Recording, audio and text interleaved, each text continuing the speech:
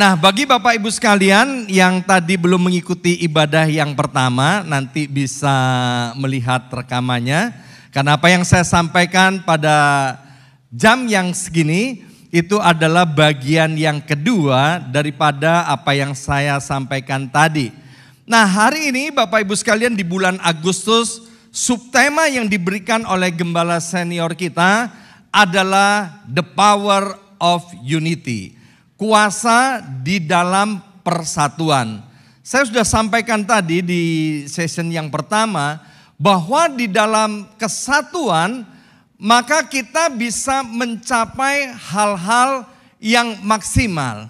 Yang kedua, ketika kesatuan itu terjadi, maka kita akan mengalami banyak mujizat seperti pujian yang sudah kita naikkan tadi.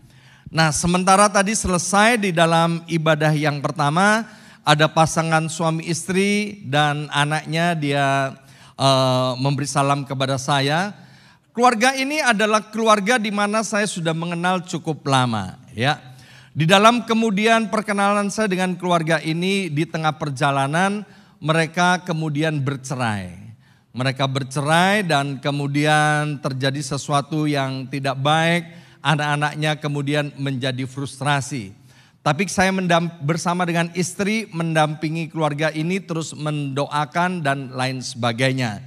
Dan khususnya karena mereka sudah bercerai, mereka memiliki surat cerai dan ketika berkali-kali saya sampaikan untuk mereka pulih, mereka bilang begini, kami ini bukan lagi suami istri.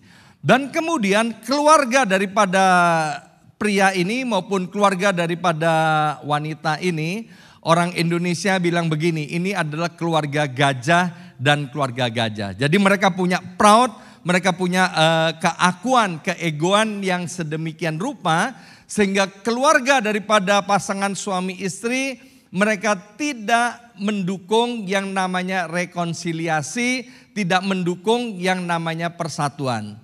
Tetapi saya dan istri tidak jemu-jemu untuk kemudian mengencourage mereka, memotivasi, mendoakan dan lain sebagainya. Dan singkat cerita, akhirnya setelah berpisah lima tahun, maka mereka bersatu kembali, mereka bikin surat nikah kembali dan mereka diberkati pernikahannya ulang dan kemudian kedua anak-anaknya yang mana sebelumnya frustrasi sekarang anak-anaknya bangkit mereka kemudian menjadi bersemangat dan kemudian suami istri ini mereka dipulihkan mereka melayani Tuhan dan kehidupannya jauh lebih baik daripada masa-masa yang lalu itu yang disebut bahwa kesatuan mendatangkan mujizat Nah, hari ini saya akan lanjutkan bagian yang ketiga.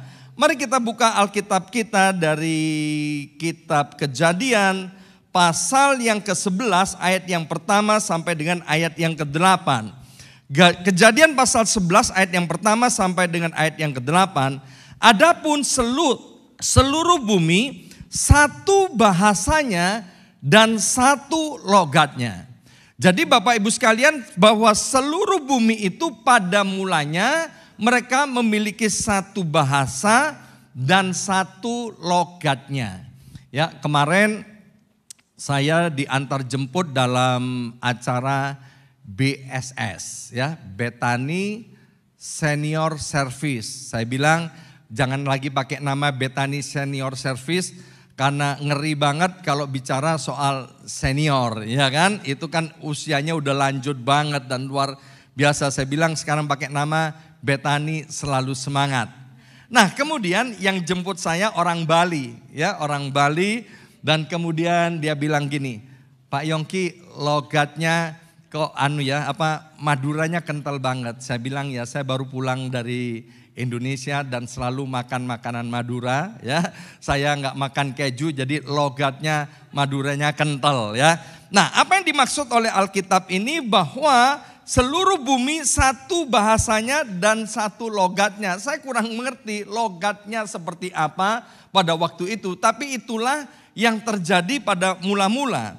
Kemudian ayat yang keempat berkata, juga kata mereka, marilah kita dirikan bagi kita sebuah kota dengan sebuah menara yang puncaknya sampai ke langit dan marilah kita cari nama. Bersama saya ucapkan marilah kita cari nama. Dua tiga, marilah kita cari nama. Bahasa lainnya yaitu supaya kita ini terkenal. Supaya kita jangan terserak ke seluruh bumi. Ayat yang kelima. Lalu turunlah Tuhan untuk melihat kota dan menara yang didirikan oleh anak-anak manusia itu. Dan ia, yaitu Tuhan berfirman, mereka ini satu bangsa dengan satu bahasa untuk semuanya. Inilah, ini barulah permulaan usaha mereka. Lihat apa yang dikatakan Tuhan. Mulai dari sekarang, apa pun, mulai dari sekarang, apa pun juga yang mereka rencanakan, tidak ada yang tidak dapat terlaksana. Luar biasa. Ini Tuhan sendiri yang berkata. Nah, tema besar kita di tahun 2023 itu adalah revival. Bersama saya ucapkan revival. Dua tiga, revival. Alkitab bilang terjadilah seperti apa yang kau percayai, terjadilah seperti apa yang engkau imani. Kalau kita percaya, kita punya iman bahwa tahun 2023 ini kita akan mengalami revival dan itu pasti terjadi. Bukan mudah-mudahan, tapi pasti terjadi. Sekali lagi, Alkitab berkata terjadilah seperti apa yang engkau percayai. Nah, di bulan Agustus ini kita diajar untuk terjadinya revival maka perlu yang namanya kesatuan. Indonesia dikenal dengan semboyannya Bineka Tunggal Ika. Berbeda-beda, ada 16 ribu pulau lebih di Indonesia dengan suku yang berbeda, dengan kebudayaan yang berbeda, dengan logat yang berbeda. Tetapi ketika Indonesia bersatu, maka 17 Agustus 90, 1945 Indonesia merdeka. Amin. Namun sebelum 17 Agustus 1945 penjajah memakai sistem divide et impera yaitu sistem pemecah belahan. Diadu domba satu dengan yang lain sehingga suku-suku di Indonesia saling curiga, saling bertengkar satu dengan yang lain, sehingga penjajah ongkang-ongkang mengambil kekayaan Indonesia selama 350 tahun. Yohanes 10 ayat 10 berkata bahwa iblis datang untuk mencuri, membunuh dan membinasakan. Salah satu yang dicuri oleh iblis yaitu persatuan. Iblis nggak senang yang namanya persatuan. Dan Tuhan berfirman, kalau terjadi yang namanya persatuan, kesatuan, apa pun juga yang mereka rencanakan tidak akan dapat terlaksana. Artinya, ketika terjadi persatuan, apa pun yang menjadi mimpi, apa yang menjadi dream kita di tahun 2023 ini, maka pasti terjadi di dalam nama Tuhan Yesus. Nah, hari ini kita akan belajar persatuan seperti apa yang Tuhan kehendaki.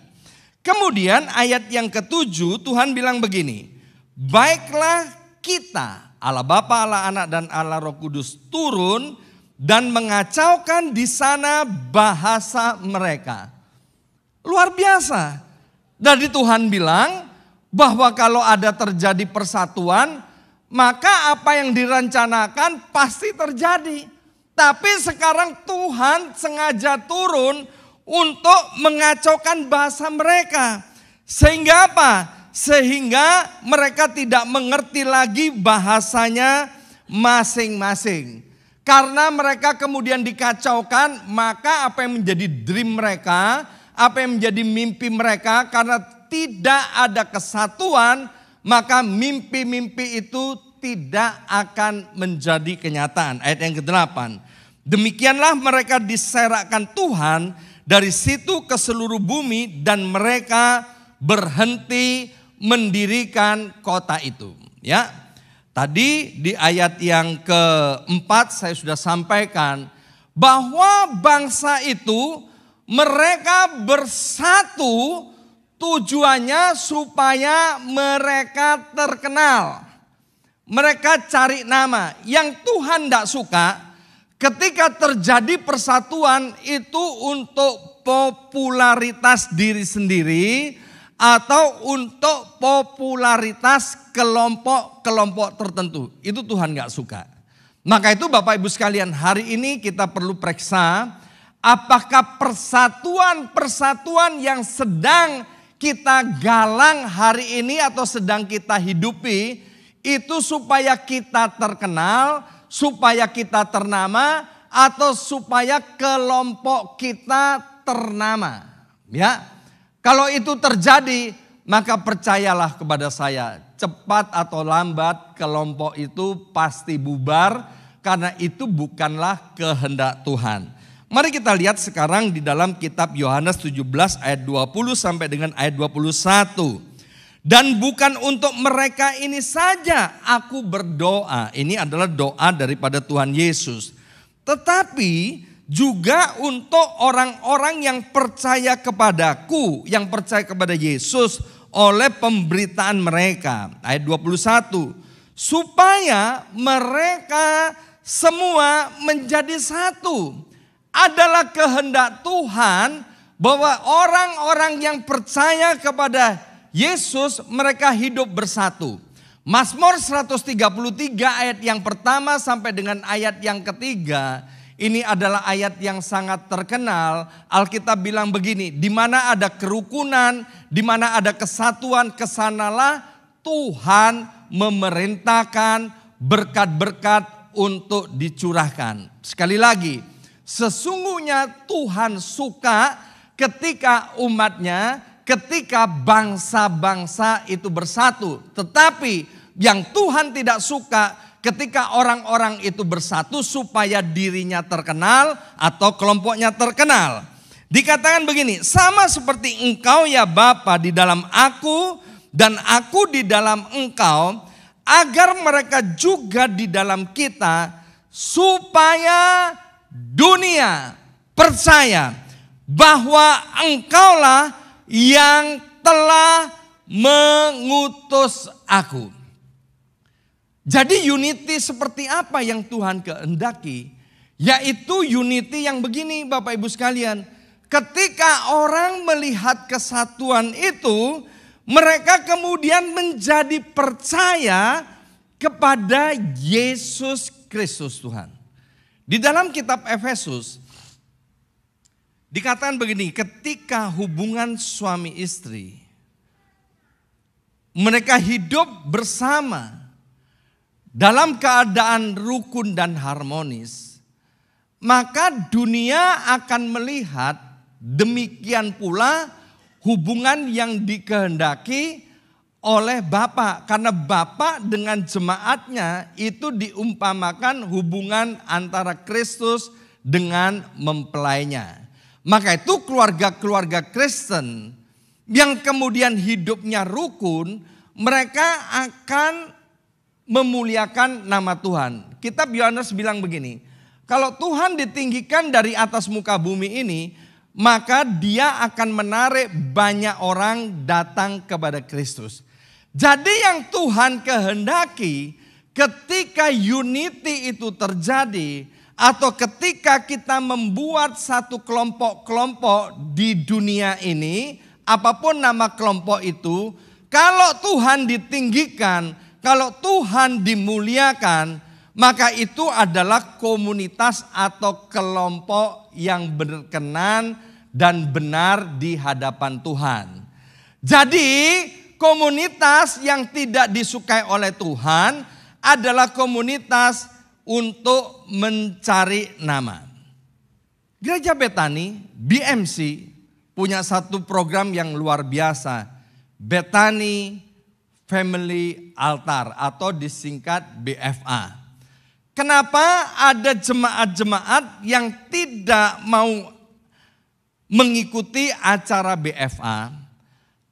Karena di dalam BFA itu kita udah dilatih, dididik, di training supaya di dalam BFA BFA di kelompok-kelompok ini bukan untuk cari nama tapi juga diajarin bagaimana nilai-nilai kebenaran firman Tuhan untuk dipraktekkan atau menjadi gaya hidup di dalam kehidupan sehari-hari. Itu tujuan daripada BFA. Maka itu gereja ini sangat mengencourage, memotivasi Bapak Ibu sekalian untuk terlibat di dalam BFA. Supaya apa? Supaya kita tertanam, bertumbuh dan dalam kehidupan kita itu bisa menghasilkan buah-buah yang nyata dalam kehidupan sehari-hari. Segala sesuatu yang kita anggap penting, sekali lagi, segala sesuatu yang kita anggap penting, meskipun kita nggak bisa, pasti dibisa-bisakan. Sekali lagi, sesuatu kalau kita anggap penting, meskipun tidak bisa, maka kita pasti bisa-bisakan. Tapi sesuatu yang kita anggap tidak penting, meskipun kita bisa, kita buat nggak bisa, nggak bisa. Ya kan? Macam-macam alasannya. Maka itu saya harap Bapak Ibu sekalian yang pertama, lihatlah bahwa kelompok BFA ini sesuatu yang pen, yang penting. Sehingga kalau kita melihat bahwa BFA ini adalah sesuatu yang penting, unity yang dikehendaki oleh Tuhan, maka meskipun kita nggak bisa, kita akan bisa-bisakan. Ya, beberapa waktu yang lalu Manchester United main dengan Arsenal ya di New Jersey ya. Tiket paling murah 300 dolar. Itu pun paling atas. Ya kan? Meskipun nggak bisa, hari itu adalah ulang tahun dari gembala senior kita, Pastor Lukas Kusuma.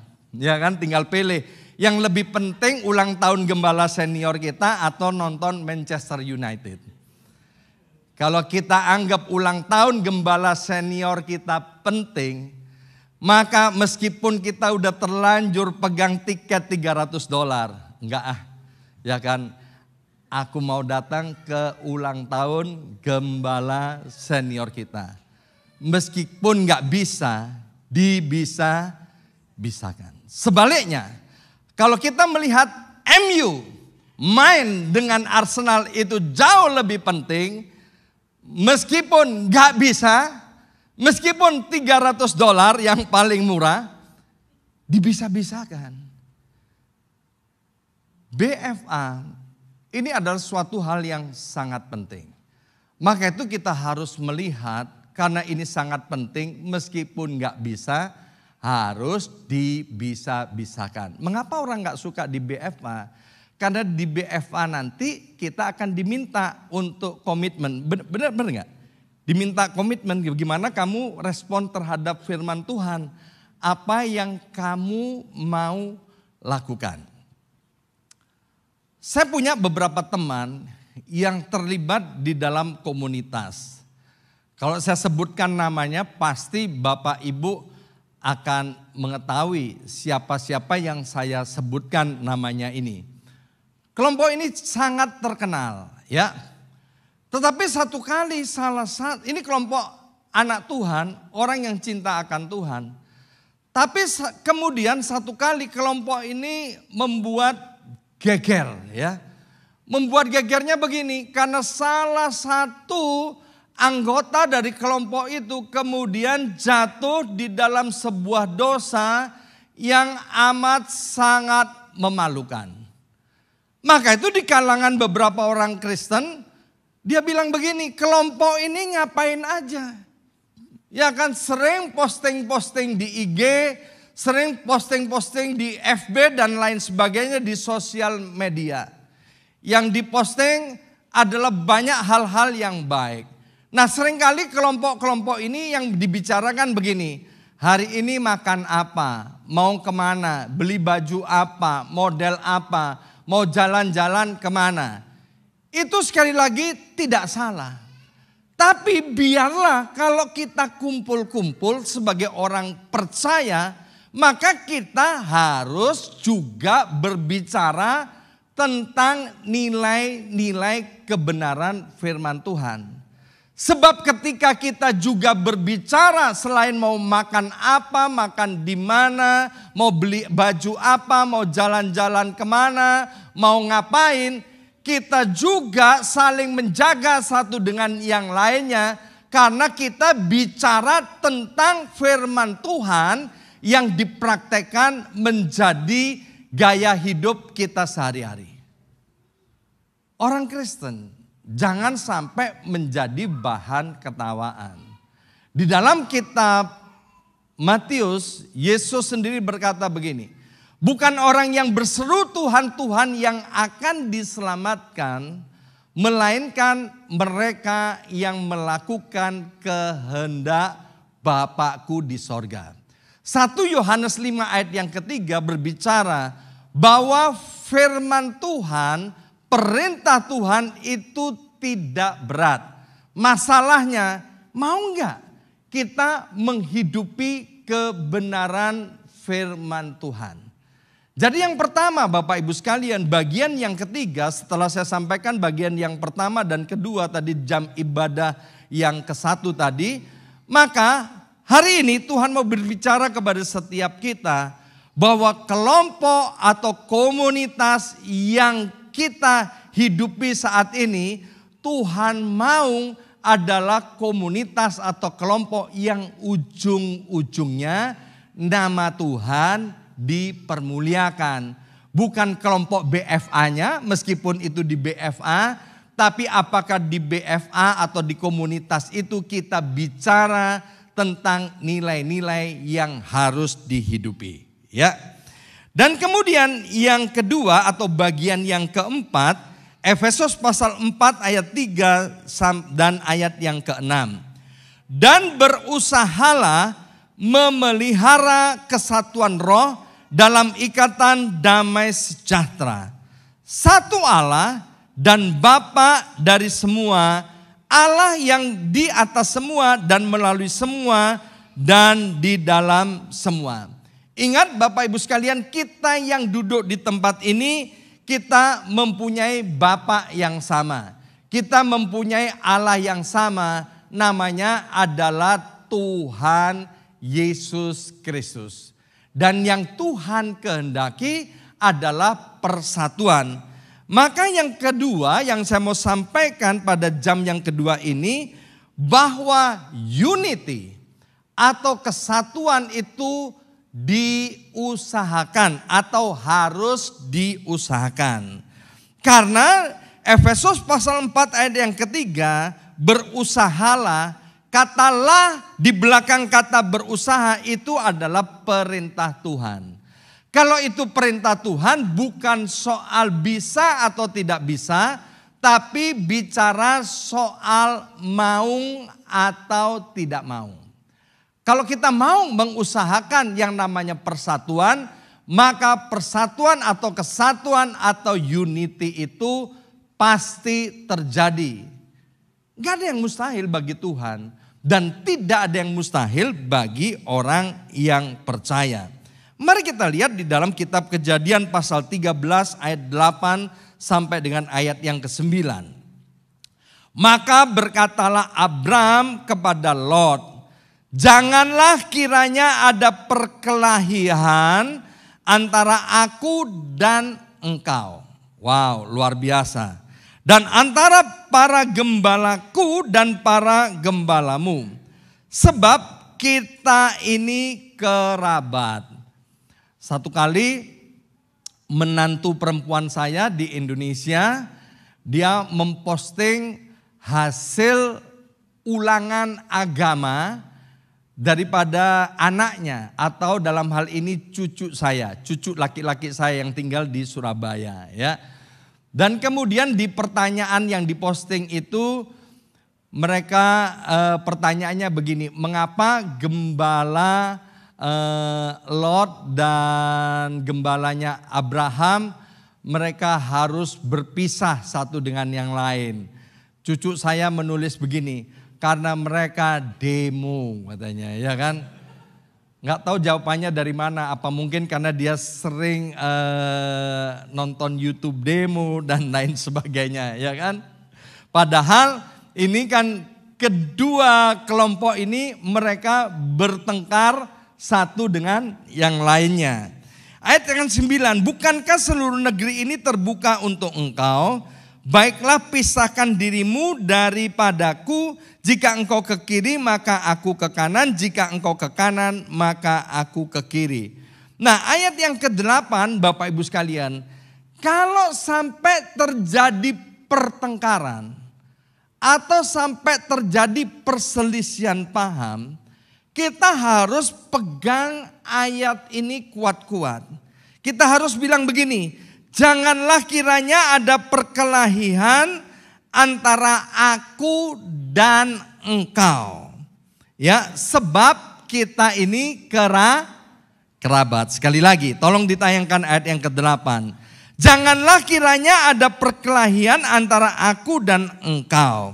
Bagian yang terakhir, sebab kita ini kerabat. Ketika kita percaya kepada Yesus, maka Alkitab bilang begini bahwa Yesus itu adalah yang sulung. Dan kita-kita ini diangkat sebagai anak-anak Allah dan kita ini adalah juga adik-adiknya Tuhan Yesus. Jadi yang duduk di sebelah kiri kanan Bapak Ibu sekalian itu adalah kerabat. Bersama saya ucapkan kerabat. Dua tiga kerabat. Lebih keras lagi dua tiga kerabat. Maka itu ketika ada perselisihan satu dengan yang lain kita harus bilang janganlah kiranya ada perkelahian antara aku dan engkau sebab kita ini kerabat. Kita boleh saling salah paham satu dengan yang lainnya. Sebab Alkitab bilang besi menajamkan besi, manusia menajamkan sesamanya. Yesus bilang tirulah anak-anak. Ya anak-anak itu sering kali bertengkar, sering kali eh, salah paham dan lain sebagainya. Cucu saya punya teman, ya punya teman eh, masih masih kerabat juga, ya um, usianya kurang lebih sama tujuh tahun. Dan kemudian ketika waktu saya ada di Indonesia kemarin, cucu saya kumpul dengan temannya dan temannya bilang gini, ini adalah my best bro forever. Wah keren banget ya kan. Best bro forever ya kan. Udah ngomong begitu ya. Gak lama kemudian bertengkar, berantem, gak saling ngomong dan masing-masing pegang gadgetnya. Ya kan, tidak saling ngomong mereka. Udah mereka main sendiri-sendiri. Tapi nggak lama setelah itu mungkin sejam kemudian mereka udah bersama-sama lagi loh. Lari-lari, kejar-kejaran, ngobrol lagi dan lain sebagainya. Nah, Tuhan mau seperti itu. Besi menajamkan besi, manusia menajamkan sesamanya. Ketika terjadi selisih paham, ketika terjadi pertengkaran, Bapak Ibu sekalian, Mari Alkitab bilang jangan sampai kita berbuat dosa. Amin. Kita harus berkata kita ini kerabat. Amin. Season yang pertama tadi saya sampaikan bahwa anggota tubuh kita semua meskipun berbeda-beda tapi semuanya adalah satu tubuh. Semuanya nggak boleh iri dengan yang namanya mulut. Maaf Bapak Ibu sekalian, kemarin eh, hampir sebulan saya ada di Indonesia. Maaf, breakfast saya setiap pagi adalah durian musangking. Ya, coba bayangkan kalau tangan itu dia protes, ya kan? Enak aja, ya kan? Aku cuma ngambilin.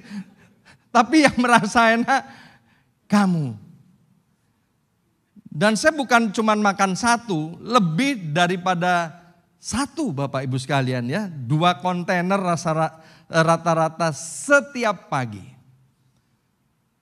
Tapi akibatnya apa?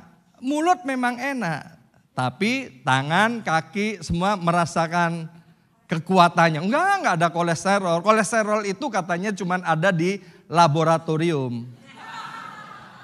Iya, jadi saya nggak ke laboratorium sama sekali, ya. Dan puji Tuhan hari ini masih ada di tempat ini, amin. Jadi nggak boleh iri sama mulut. Mulut memang banyak makan enak, ya, makan ribs, makan macam-macam lah, ya kan.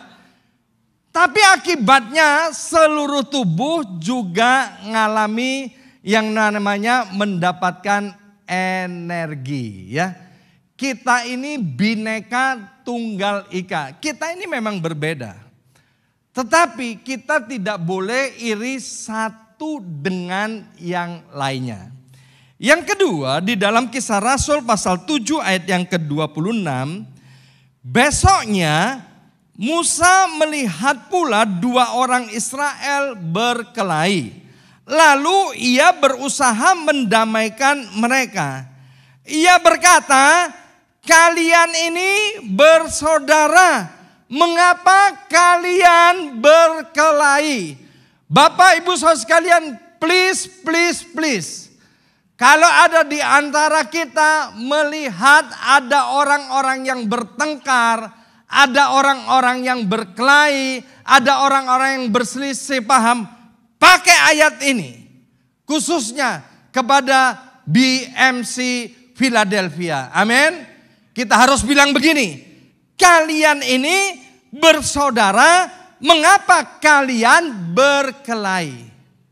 Salaman yuk, salaman, salaman, salaman. Amin.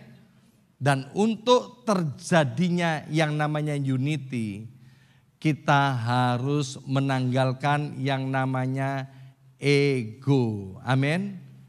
Bukankah kita bukan milik diri sendiri lagi, tapi kita adalah milik Kristus. Amin.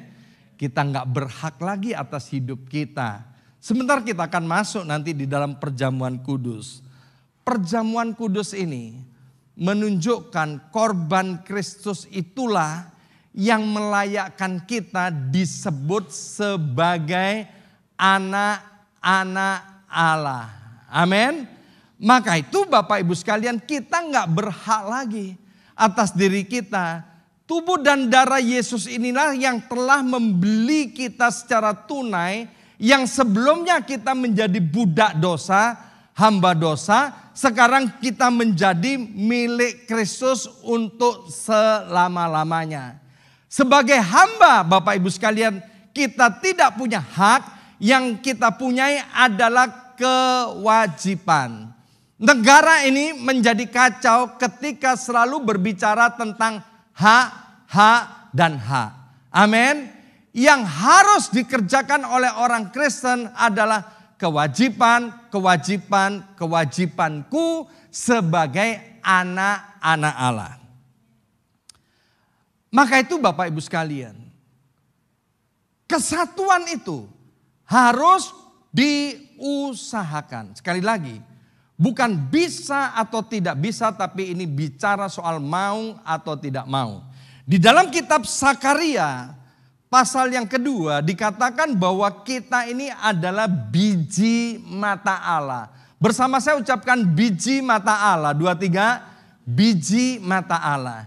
Kita melihat pakai apa Bapak Ibu sekalian? Pakai biji ma, mata. Maaf sekali lagi buat Bapak Ibu sekalian yang nonton siaran ini yang tidak mempunyai biji mata. Saya tidak bermaksud menyinggung Bapak Ibu sekalian ya.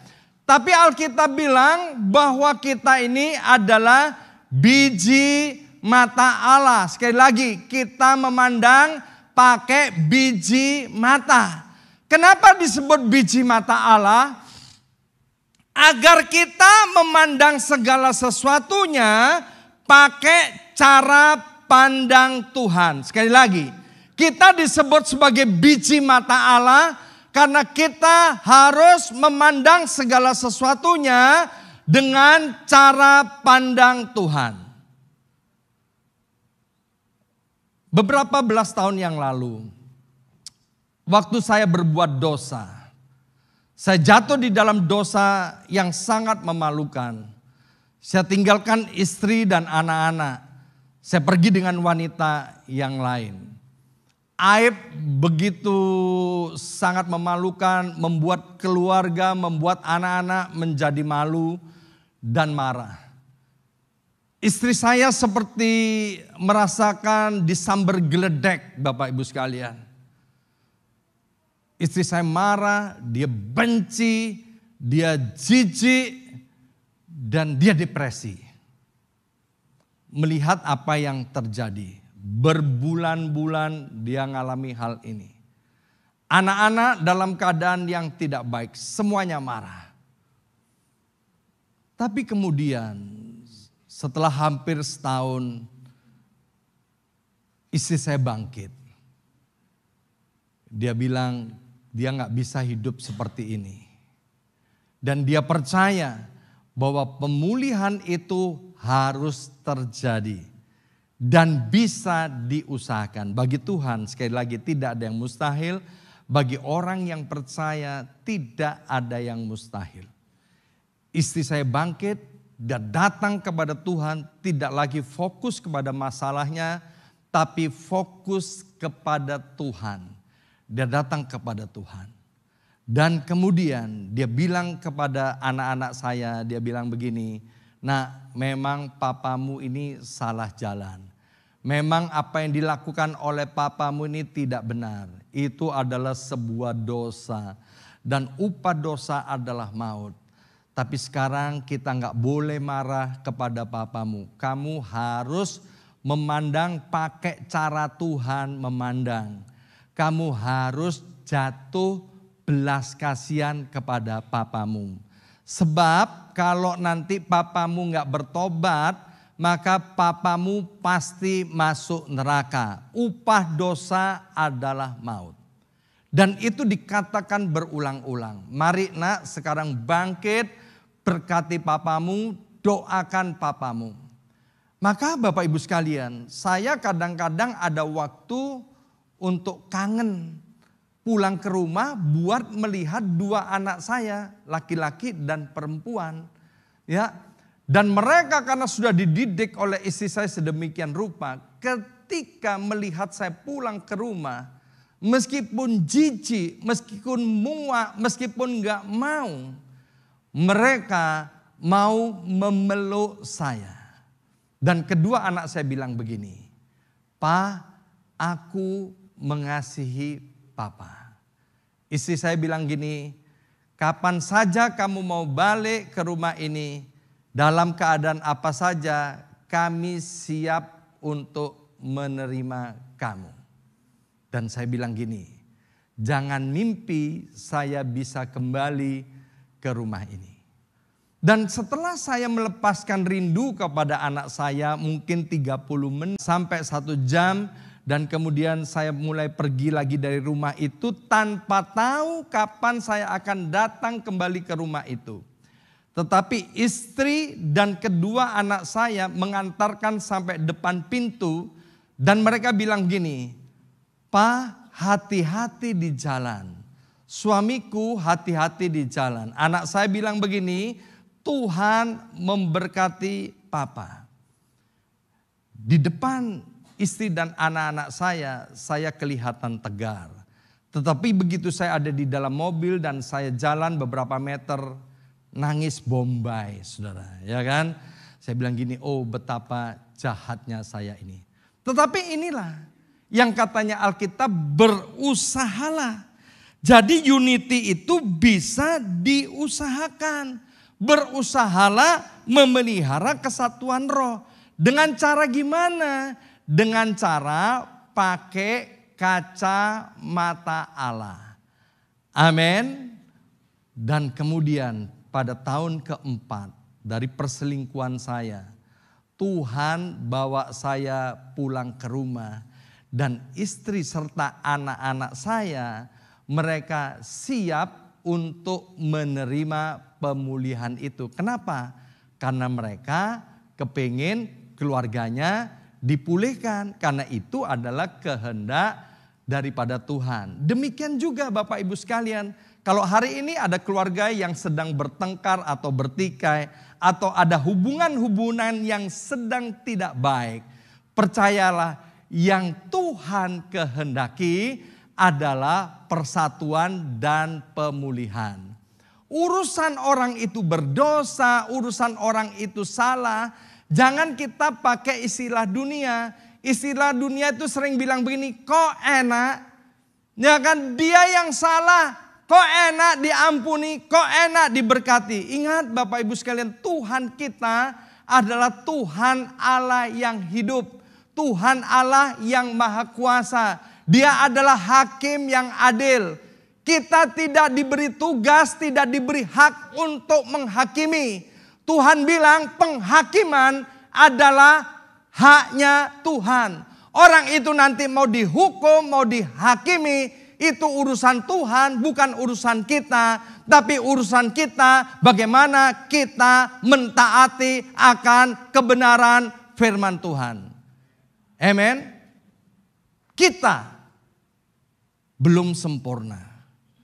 Tapi kita harus menyediakan di hati kita satu ruangan untuk bisa memahami dan menerima kesalahan orang lain. Sekali lagi, kita harus menyediakan di hati kita satu ruang untuk menerima kesalahan dan kekurangan orang lain. Kenapa orang tidak bisa menerima kesalahan dan kekurangan orang lain? Maaf, maaf, maaf karena di hatinya penuh dengan kesalahan yang sedang disimpan dan disembunyikan. Sehingga orang-orang yang begini kalau melihat orang yang bersalah mereka pakai cara dunia dan berkata tiada maaf bagimu. No. Kita banyak kesalahan Bapak Ibu sekalian. Jangan pernah lihat selumbar di mata saudaramu, sedangkan balok ada di matamu. Jangan lihat kuman di seberang lautan, sementara gajah ada di dalam, di depan matamu. Saya pernah melayani satu keluarga. Keluarga ini punya anak perempuan. Kemudian anak perempuan ini dikhianati oleh suaminya. Suaminya main gila dan kemudian selingkuhannya hamil, punya anak dan kemudian akhirnya rumah tangganya kacau. Dan ibu ini bilang begini, ya yang salah memang anak perempuan saya. Coba anak perempuan saya perilakunya berubah. Gak mungkin suaminya selingkuh. Bapak ibu sekalian tahu nggak? Ibu ini juga ditinggal oleh suaminya. Suaminya selingkuh dengan beberapa wanita. Dan ibu ini bilang apa? Dasar perempuan-perempuan itu semuanya setan, setan, setan. Jadi anak perempuannya diselingkuhi oleh suaminya, dia bilang yang salah anak perempuannya, sementara suaminya menyelingkuhi dia, dia salahkan perempuan-perempuan yang lain. Artinya apa? Ibu ini tidak melihat kesalahannya sendiri. Hari ini yang Tuhan mau adalah pemulihan terjadi di antara kita semua. Amin. Jangan mau kita masuk di dalam perangkap iblis. Iblis memang mau memecah belah, tujuannya apa? Bersatu kita teguh, bercerai berai, kita akan menjadi runtuh. Kita pengkhotbah berkata, saya undang pemain musik maju ke depan. Kita pengkhotbah berkata, tali dua tiga lembar susah untuk dipatahkan. Maka itu jangan mau masuk dalam perangkap iblis. Ini bukan soal bisa atau tidak bisa. Tapi ini bicara soal mau atau tidak mau. Kesimpulan, hari ini saya sudah sampaikan di ibadah pertama dan ibadah yang kedua. The power of unity. Yang pertama, ketika unity itu terjadi, maka kemaksimalan itu tercapai. Tangan kita ada lima jari. Ketika jari ini tidak ada yang stroke, atau anggota tubuh kita tidak ada yang stroke, tidak ada yang tidak berfungsi, tapi satu dengan yang lainnya saling menopang satu dengan yang lainnya. Maka banyak hal yang bisa dikerjakan. Yang kedua, waktu unity itu terjadi, maka mujizat demi mujizat pasti terjadi. Dan yang ketiga, unity yang dikehendaki oleh Tuhan bukan untuk popularitas diri sendiri, bukan untuk popularitas BFA, bukan untuk popularitas BMC, bukan untuk popularitas diri sendiri atau kelompok-kelompok tertentu. Tapi biarlah unity yang terjadi itu memuliakan nama Tuhan. Karena memuliakan nama Tuhan, maka orang bisa melihat Kristus dari kehidupan kita. Dan yang keempat, unity itu bisa diusahakan. Tinggal mau atau tidak mau. Mari kita bangkit berdiri. Buka kedua belah tangan kita. Arahkan wajah kita kepada Tuhan.